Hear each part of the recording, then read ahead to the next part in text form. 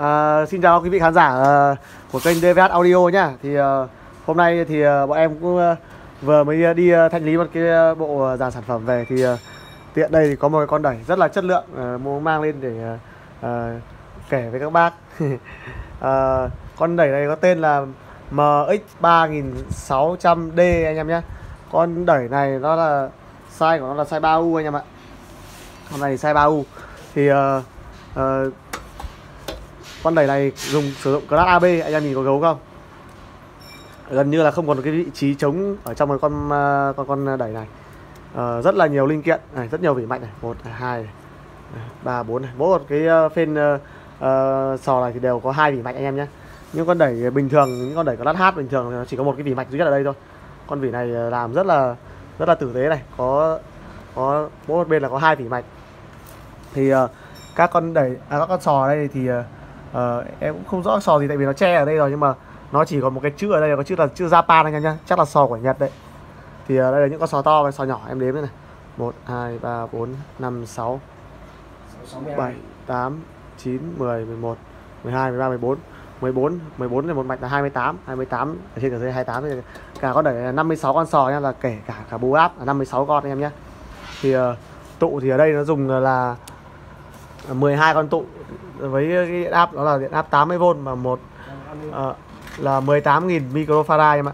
Thì uh, ở đây thì uh, bác chủ cũ bảo là hôm uh, lâu lâu cái làm cái vài tháng đánh bị nổ một con tụ thì là đã thay một con tụ mới cũng là con tụ cùng một hãng thôi em nhé.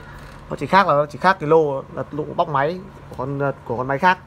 Thì khác mỗi cái là con này là cái nắp của nó là nắp nhựa cái nắp của con này là là là, là cái không có cái nắp nhựa thôi đây vẫn trùng một cái thông số hết và cùng một hãng cùng một hãng tụ luôn nha em nhé. Đấy là cùng một, cùng một lô. Đây là chỉ là uh, thay ở con máy khác rồi thôi.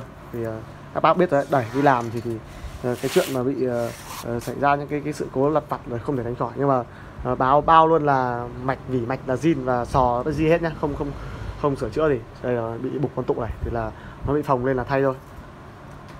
Đấy. Uh, thì con đẩy này uh, chủ cũ của nó đang sử dụng để đánh một, một uh, cặp súp kép nhá súp kép côn ờ, 125 nhá. Đánh rất là uy lực anh em ạ class AB nhá đánh súp. Người ta vẫn đánh giá là cái class AB là cái class mà đánh súp là hay nhất. Tiếng ra là nghe là là uy lực nhất. Nó không thể nào ờ, công suất nó được nhiều như là cái con class H nhưng mà cái class AB này đặc điểm của nó là sử dụng để đánh súp thì rất là ngon lành anh em ạ. Con cục này rất là nặng nó thì khoảng bao nhiêu cân?